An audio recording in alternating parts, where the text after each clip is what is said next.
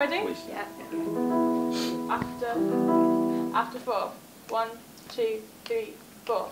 All the leaves are brown, and the sky is grey, And the sky is grey. I miss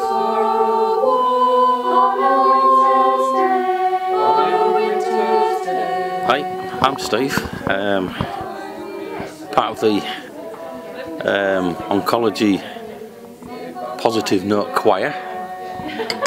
Good for a laugh. Uh, got involved because it was a, a bit of a discussion we had last year about music being um, a therapy, as in how much your mood changes. So we decided that we'd form a choir, um, which is really good fun, uh, good for a laugh. Uh, all old cronies like me.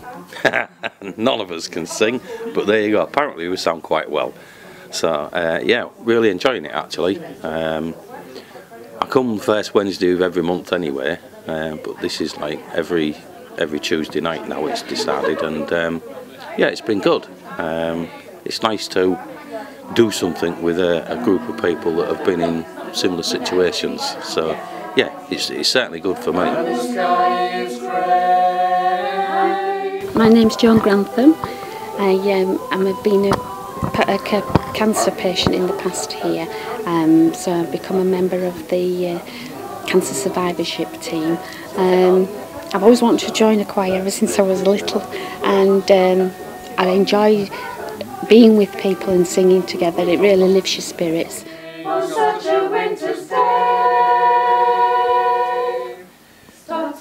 My name's Sarah Guest. I'm a clinical nurse specialist for the survivorship team at the Queen Centre for Oncology and Haematology.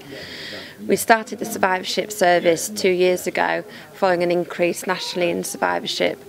Um, the service has been driven by the patients, for the patients, and from the support group that we started, we became interested in developing a choir the choir is there particularly for the patients as a need of support. But what we're also looking at is whether singing can improve quality of life, improve fatigue, and improve anxiety and depression. We're here purely as professionals to facilitate the choir. The choir is very much about patients and the families. Um, what we find at the end of treatment is that patients feel quite isolated and vulnerable. They're a little bit in no man's land.